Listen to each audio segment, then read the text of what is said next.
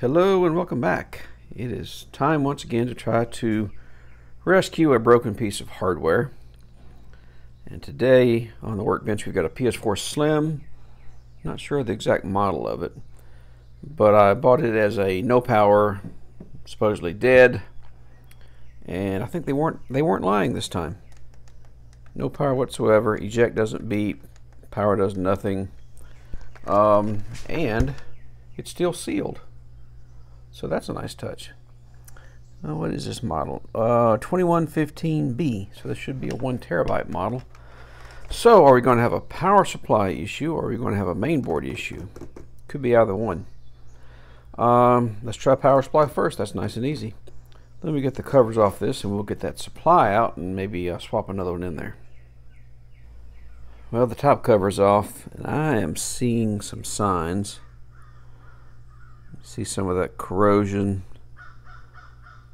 I suspect we're going to have a roach issue here. That's my suspicion. Haven't seen any bodies yet, but that just kind of looks like uh, some corrosion left behind from roaches. Let me get on into it. Alright, bottom cover's off. And yes, we have some residents. So yeah, I have a feeling that's going to be our, our main issue. They have probably wrecked this power supply. So uh, let me blow this out a little bit before I have to handle it too much. And we'll get that supply swapped out and see if that uh, is 99% of our problem.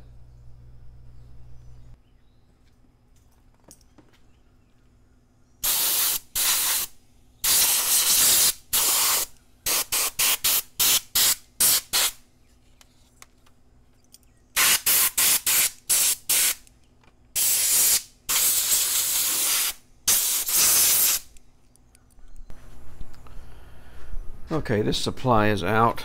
It is a uh, uh, N16 160P1A uh, that has the square pins, I believe.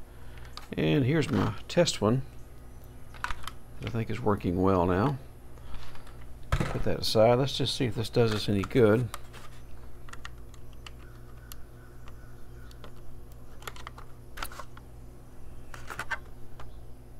Well, this has round pins.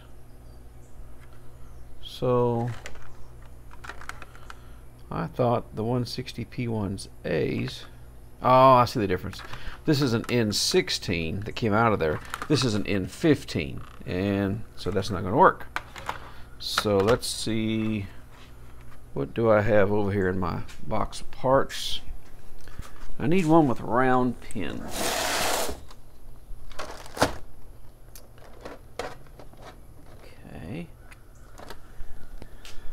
Okay. One of these should do it. These both have round pins. Let's try this one.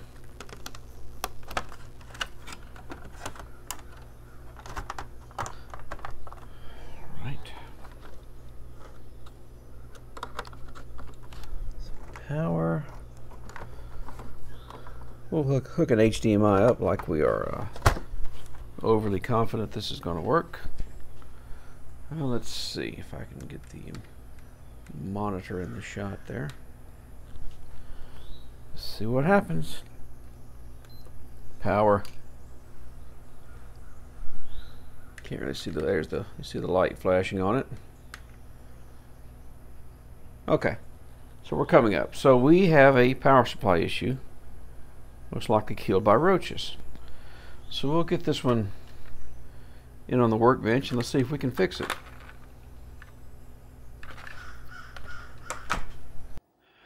Alright, well I'm going to go ahead and apologize for the audio now because I have just broken my adapter to go into my uh, phone with to connect the 3.5 millimeter jack from my microphone. So I'm going to be on the uh, uh, phone microphone for a while until I get another one of these adapters. So it is what it is. Um, let's get this thing open. And once again, I must say, if you're not familiar with working on, you know, electronics and line voltages, please do not open your power supply because there are dangerous voltages inside it.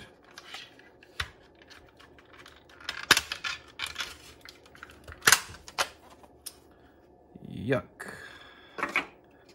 Yeah, lots of uh, roach goodness there. Hey, there, I bet that's our offender right there.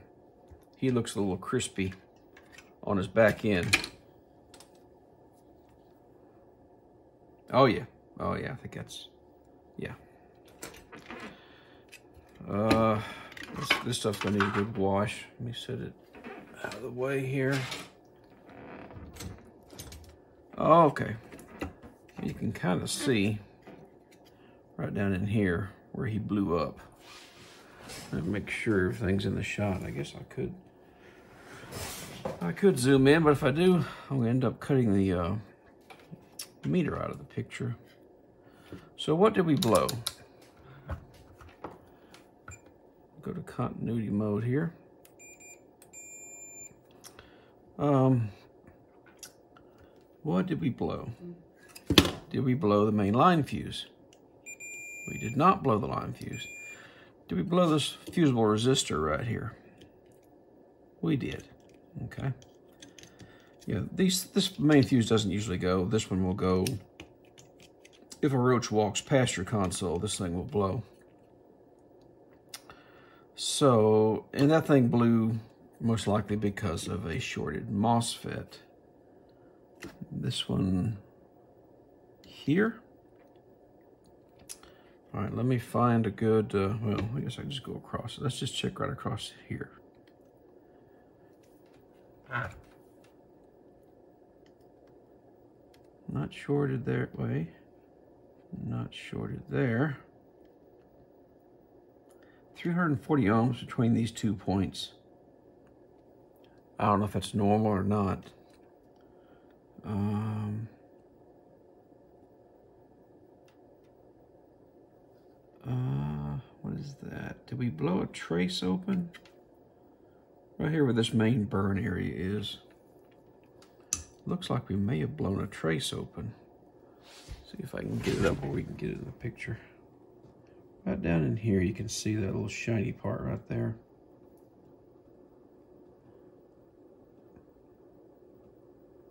Hmm. Let me take a look at that under the microscope.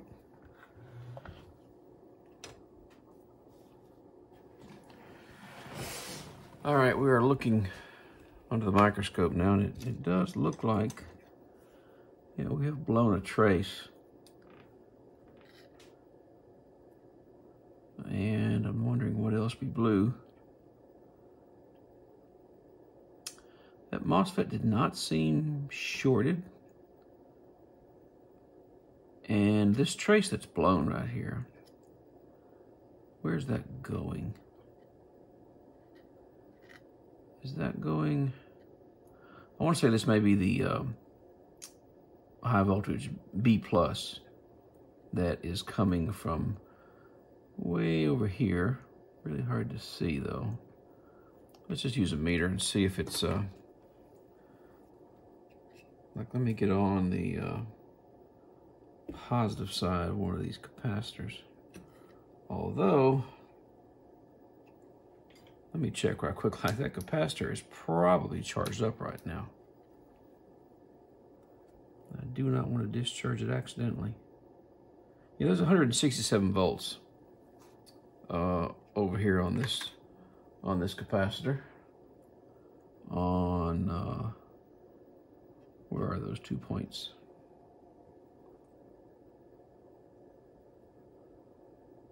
Mm -hmm. Right in there.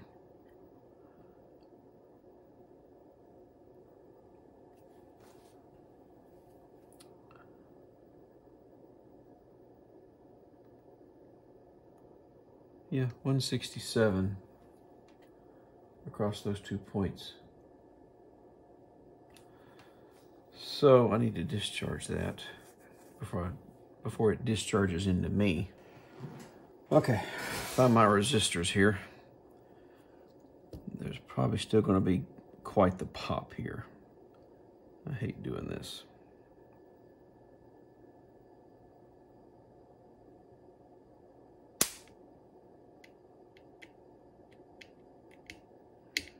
Okay.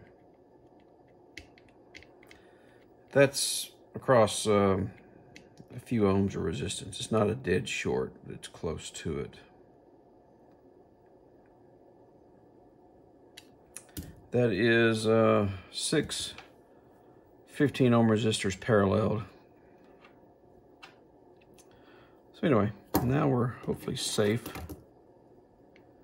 and won't get bit by this thing. I don't like putting a screwdriver across it. You can do that, but I don't want to do that. I don't like taking notches out of my screwdrivers. All right, now, uh, what I was going to do, I wanted to check and see if this is the B+. plus. Like, the plus side of this capacitor, right here, is that it down here? Well, get back into continuity mode. No, it's not directly.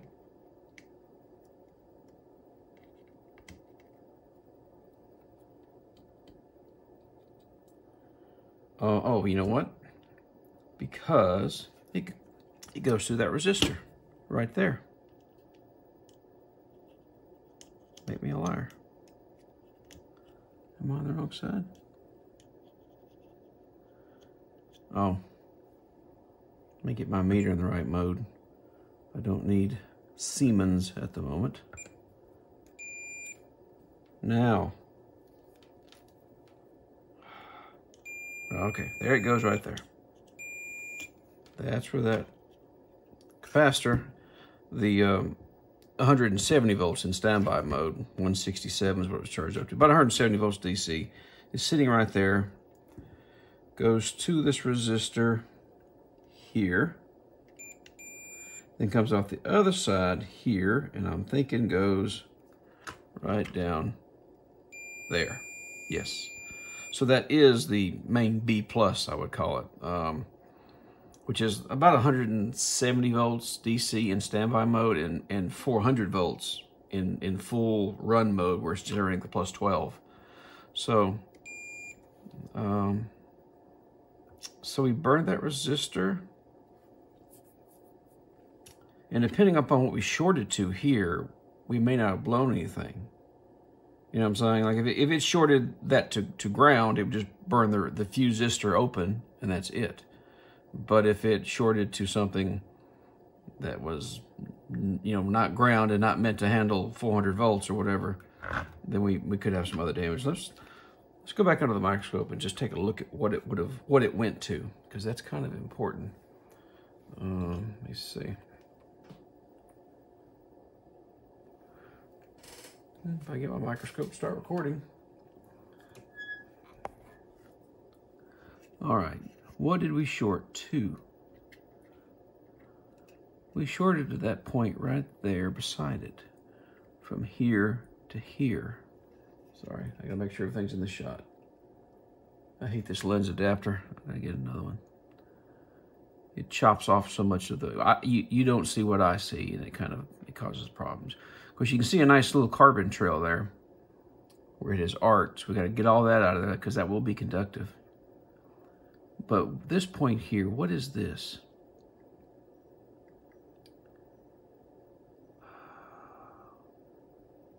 This looks like a, is that a choke? An inductor? BC 801, BC 802. I'm wondering if they're going, if they're not at ground, if they're very, very close to ground. Look like it goes, goes through here, into here. And this point here, I see a diode, and I see a one ohm resistor that, that, is it still good? Let me check it. Yeah, resistor is still good. Uh, what about this? What about this diode right here? It's not shorted. Because it does look like a rather healthy diode too. What is this right here though? Right, that, both of these, uh, I'm guessing are inductors. And they are not opened. So, are we going to be lucky enough that it just blew that trace open and blew the fuse resistor? That would be quite fortunate. Just, I'll be amazed if this MOSFET is not bad.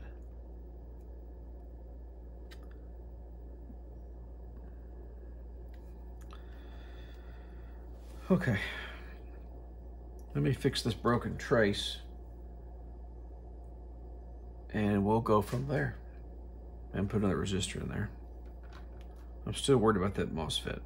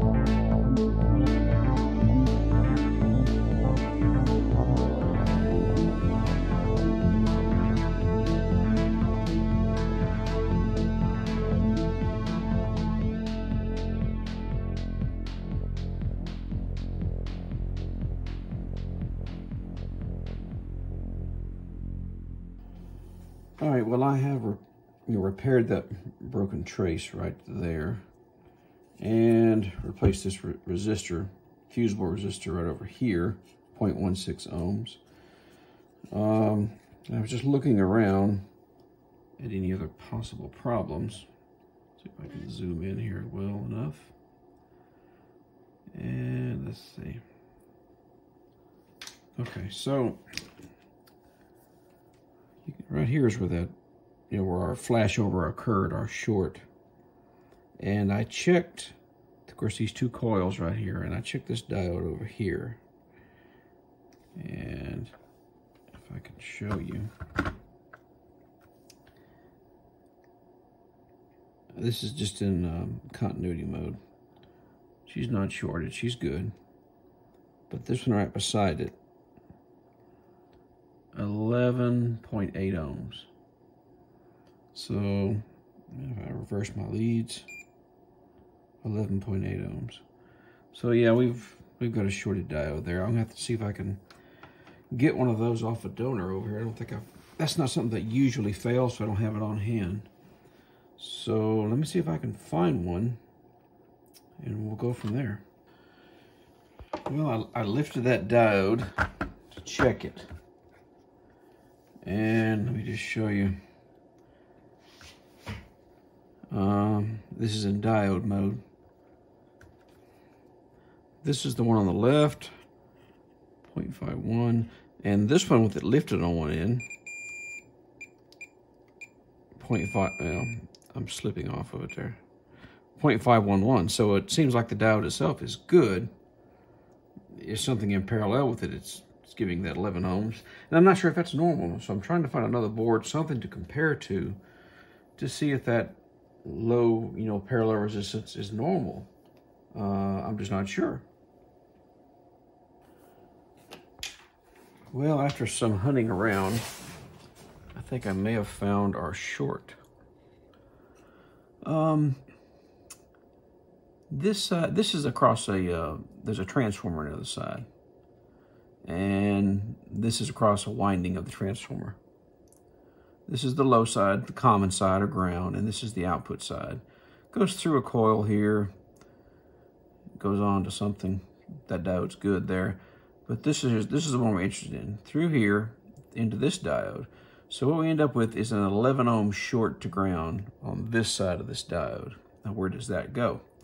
Goes right up here. This is a capacitor filtering that supply, which I think is going to be like 13, 14 volts, the supply for, let's follow it over here, under this resistor, right over here, right over here, and to pin 6 of our LD5760. Now this is the uh, IC that controls the 5 volt standby. It actually generates, drives the MOSFET that generates the 5 volt standby. And this pin, pin 6, is its supply voltage.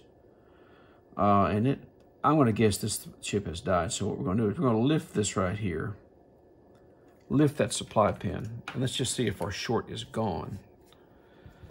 Because that supply is used elsewhere, uh, as best I can remember, but I think it's it's switched, so it doesn't like go directly. It'd have to, it'd have to be up and running, I think, for the short to be someplace else. So I'm hoping it's right here. So I'm just going to try to lift this pin.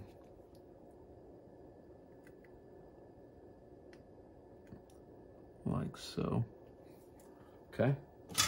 Now, I'm in continuity mode. Uh, let's see, this is this is ground right over here. This whole big bus you see here is ground. Now we have nothing there. I'm open. Yeah, 8 ohms to right there now. So our 5760 is dead. So maybe we're lucky replace that, put our diode back down, which, which appears to be just fine. Uh, if I measured the right way. Yeah, measures like 400 ohms, 300 something. I think that diode is healthy. Uh, just replace that 5760 and I think we may be back in business.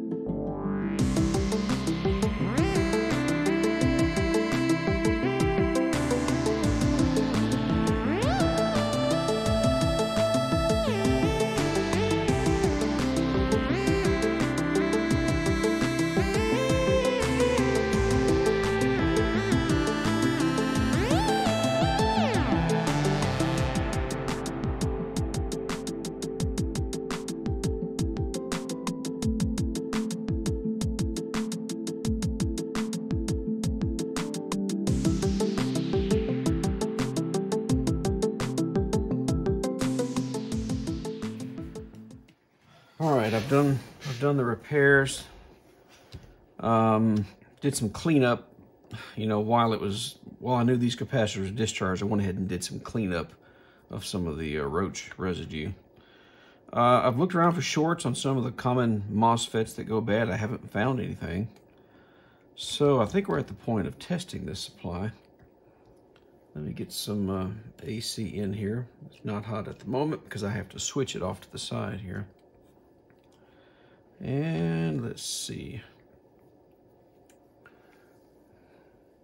think what I'll do is I'm to bring it up kind of slow. So if we still have a short, maybe I won't blow something up. Let me get a ground right here, and we'll get plus five right there. I'm to start bringing the AC voltage up slowly.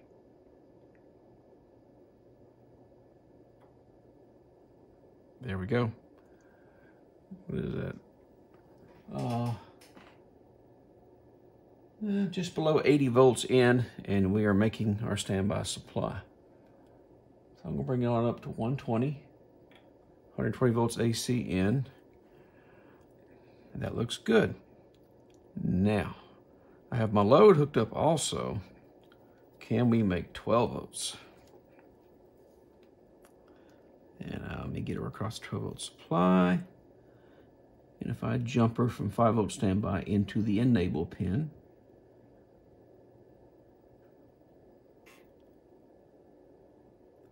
uh, she came up and shut down, I believe. There it goes, 12 volts. Yeah, I just slipped off of it. I keep slipping off of it. All right, get a good grip. All right, 12 volts. Yeah. We're making 12 volts. Excellent. I think we have a working supply here. Let's, um, I still got to clean the case parts. They're, they're, they're nasty. But I'll get that cleaned up and we will um, put it back in the chassis and see if she works. But that looks promising. All right, we're back out in the garage. I've had it running out here for a while on my test supply. So let's just shut her down and let's just see if our uh, freshly repaired supply is going to do the same thing.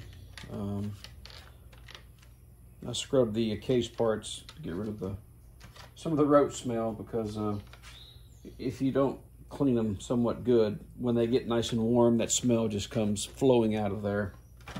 And no one wants that. All right, we're powering off.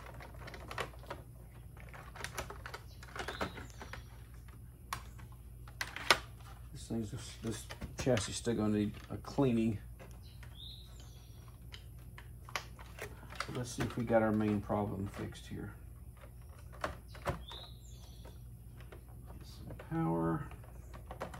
It worked on a load in the house, so there's no reason it shouldn't work here.